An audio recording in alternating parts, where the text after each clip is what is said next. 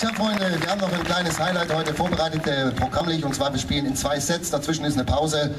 Äh, aber nur damit man die Sets auch äh, also abgrenzen kann. Und in dieser Pause haben wir äh, hier drüben was vorbereitet und zwar diesen herrlichen Stand, der, wie ich vorhin von meinem Freund Alex erfahren habe, ein orangenes Dach hat. Ich hätte gedacht, es ist rot, aber es ist orange, hast recht, jetzt sehe ich es auch.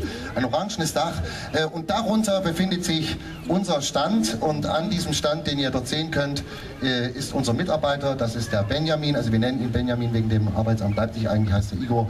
Und der Igor, der Benjamin, der hat unsere CDs und die könnt ihr euch in der Pause anschauen. Und weil heute Muttertag ist, haben wir uns entschieden, obwohl wir wirklich an jedem einzelnen Exemplar hängen, dass wir heute für einen kleinen Obolus uns vom einen oder anderen Exemplar trennen würden. Das heißt, wenn ihr hier rüber geht und schaut euch das an, dann äh, kann, uns, äh, kann euch der, der Benjamin auch beraten. Das tut er zweisprachig äh, Hochdeutsch und Sachsen-Anhaltinisch. Äh, das heißt, ähm, äh, mehrsprachig hier drüben Beratung möglich. Damit das funktioniert, machen wir eine kleine Pause.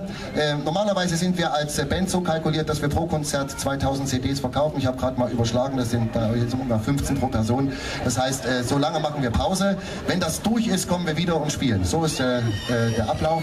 Ähm, wir machen jetzt gleich eine kleine Pause, aber bevor wir die machen, haben wir noch ein bisschen, komm, wir haben noch ein bisschen Musik. Und zwar, wir können nicht von der Bühne gehen zur Pause, wenn wir noch nichts von King of Rock'n'Roll gespielt haben haben, oder? Vom King muss man was spielen. Die junge Frau hebt sofort den Finger und sagt, genau. Du hast dich schon gewundert. Oh. So, die Pause ist doch jetzt schon. Ich habe den Schlagzeug schon zu Teilen abgebaut. Das ist mir noch nie passiert. Das, er hat mir gehangen, er ist mir gefolgt. Ist das überhaupt meiner? Es ist immer komisch, äh, gerade so im Sommer spielt eine Band auf Festivals, da machst du am nächsten Tag einen Koffer auf völlig andere Instrumente. So, jetzt geht der Groove schon mal los.